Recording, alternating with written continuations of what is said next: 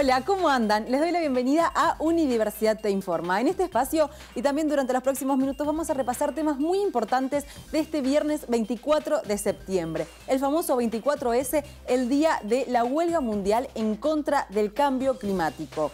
Y hablando de este tema, les contamos que dos investigadores del CONICET de Mendoza formaron parte del de, eh, último relevamiento que se llevó a cabo, donde se hablaba de cómo los gases de efecto invernadero son los culpables del cambio climático en el mundo. Hablamos con uno, e, de ellos y también con un meteorólogo que nos eh, anticipa que la sequía va a continuar en nuestra provincia.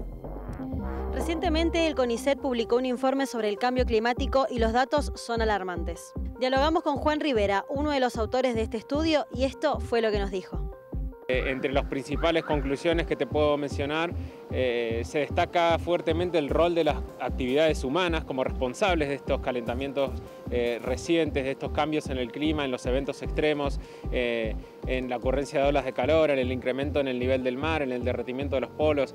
Bueno, estas emisiones de gases de efecto invernadero han sido las principales contribuyentes en ese sentido y las proyecciones futuras indican que de no tomar medidas drásticas y, rápidas, en cuanto a la reducción de estas emisiones, eh, bueno, los escenarios indican eh, cambios todavía más drásticos a futuro. Teniendo en cuenta la falta de nevadas en, lo que va del invierno 2021, eh, lamentablemente el panorama no es bueno. Las proyecciones también, los pronósticos estacionales de temperatura indican temperaturas por encima de los valores normales, las precipitaciones en el llano también estarían por debajo de los valores normales, con lo cual la presión sobre el recurso hídrico, que es cada vez más limitado, va, a incrementarse.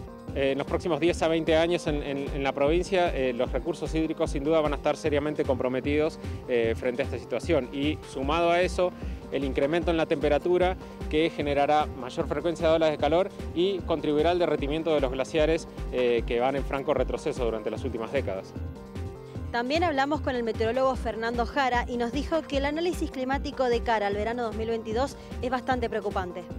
Según el Servicio Meteorológico Nacional, siempre me refiero al Servicio Meteorológico, esto es libre acceso al Departamento de Climatología, donde nos informa que el mes de agosto, septiembre y octubre eh, las temperaturas van a ser normal o superior a lo normal en un 40% y en lo que respecta a precipitaciones van a ser normales e inferiores a un 40%. Así que vamos a estar en déficit de precipitación y con temperaturas superando lo normal. Estamos por debajo de las precipitaciones nivias que tendríamos que tener y estas nevadas son un poco tardías también, si bien son importantes, nos ayudan, no son las que tendrían que haber sido durante el invierno. Así que sí, estamos en escasez hídrica y hay que tener mucha precaución. También tengo que hacer referencia a que estamos dentro del calentamiento global, que no estamos fuera de eso. Es todo muy dinámico y lo que sucede en el mundo de alguna forma repercute acá en la zona de Mendoza.